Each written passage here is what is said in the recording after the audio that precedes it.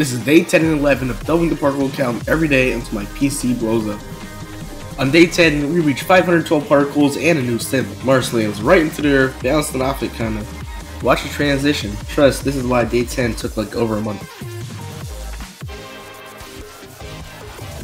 Day 11 and we finally have over a thousand particles. The moon is torn apart by tidal forces, forming tidal waves and rings for the earth. Alright, let's spectate one of these moonlets forming.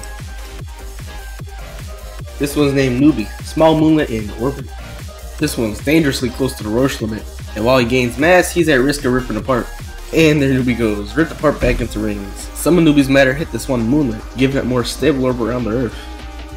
Hmm. This moonlet Sphinx can safely gain mass over time. Let's speed this up until something crazy happens. Over the next few weeks, his orbit gets more circular, picking up other tiny moonlets and dust.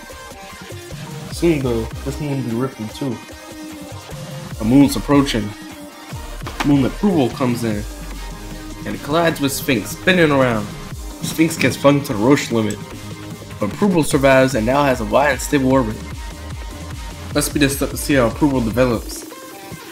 Approval merges with cluster of three moonlets. It's not quite the roll, new merges like daily. Another moonlet's coming